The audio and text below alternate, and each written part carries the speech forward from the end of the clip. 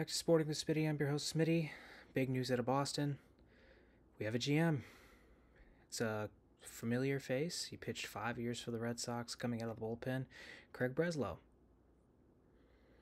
I'm as surprised as anybody else. Uh, no really real reports coming in about him um, being in contention for the job until the very last minute, right before they announced that he was the guy.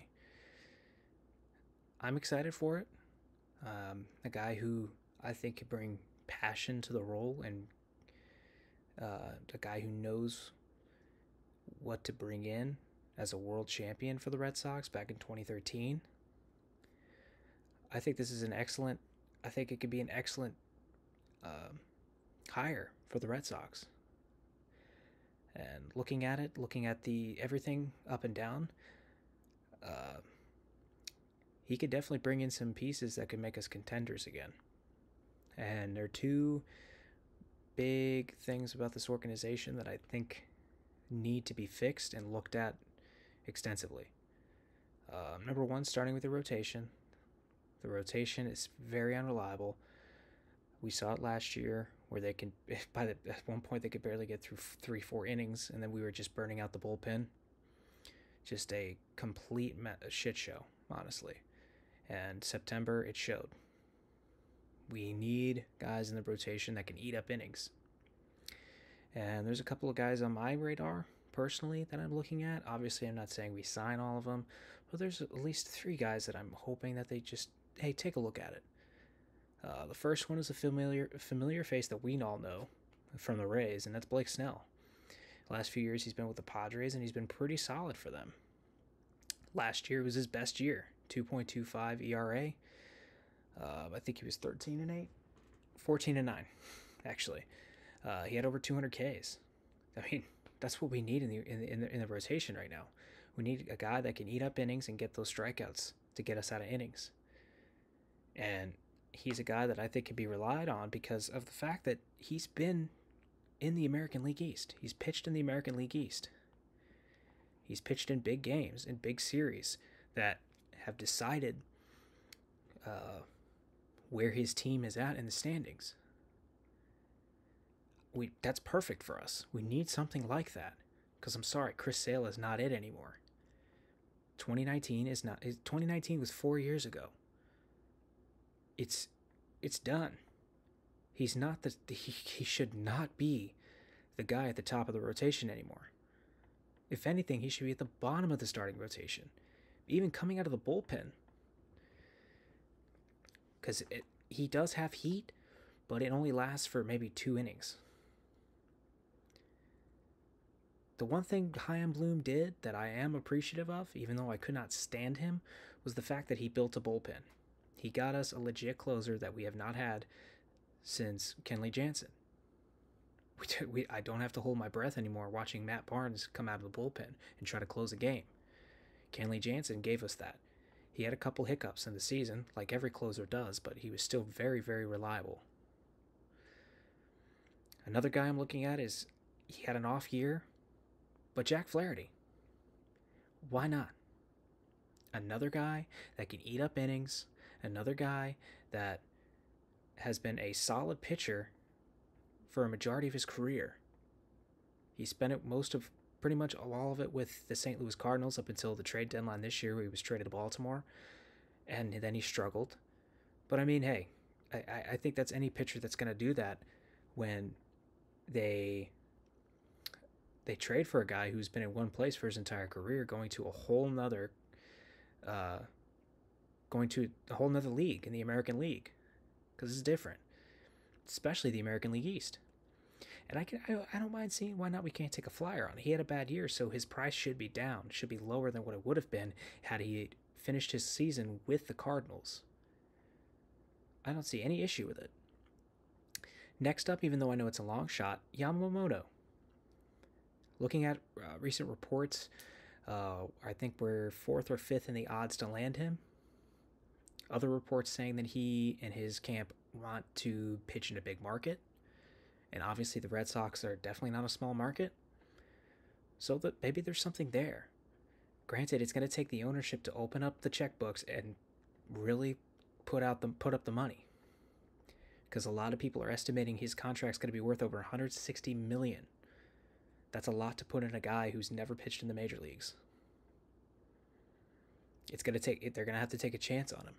And it could be, hey, we can we could get our Daisuke Matsuzaka type of situation where he gives us great pitching for f- 4 years or we could have a Kei Igawa situation like the Yankees had where he pitched he pitches 2-3 games and immediately you could tell that that's not the guy.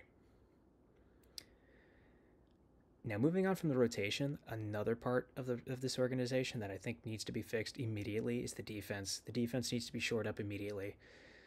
It's been getting worse over the last few years. 2022, we had 85 errors, and then it it jumped up to over 100 in 2020 or 2021. Sorry, 2022. Yeah, I was right.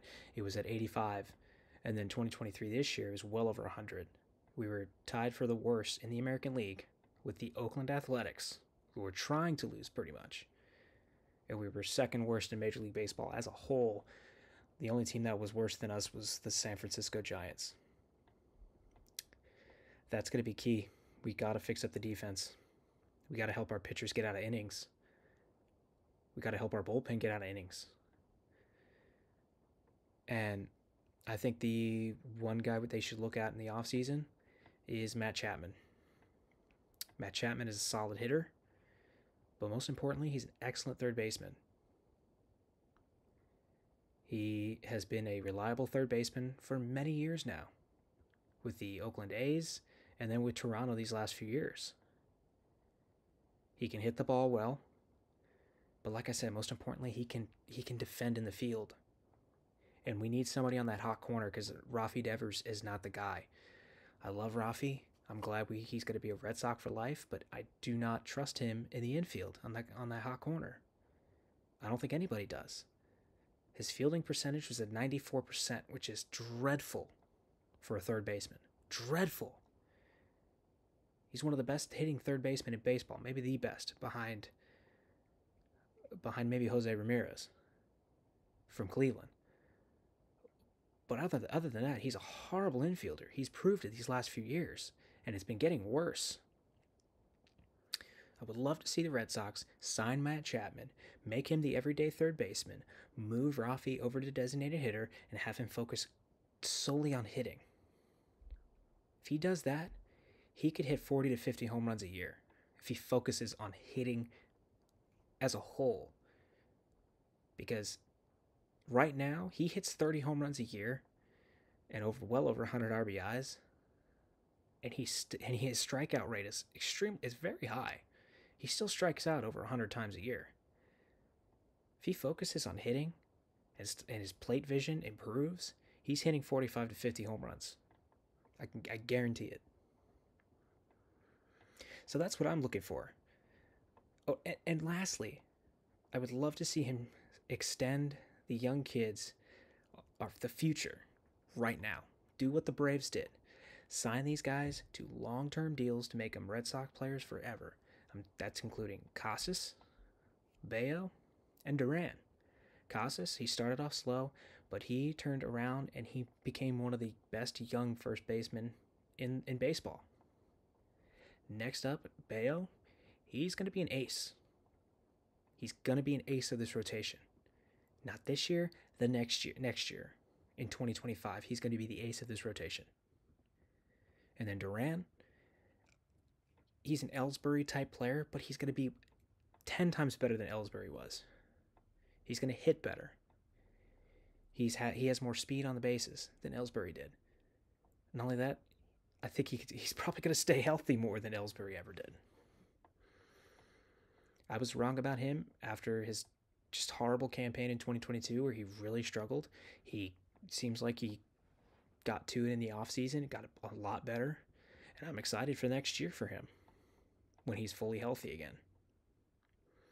But let me know what you guys think. What do you guys think Breslow should do? What's the first thing he should really do when the winter meetings start and free agency opens up? What's the first thing he should do? Do you think he should shore up the rotation? Do you think that he should add more to the lineup? Do you think that the young guys are still too young? What do you think? Let me know down below. Don't forget to like, comment, and subscribe. Um, continue to grow the channel every day. Uh, more videos to come. Um, stand by for the uh, top 25.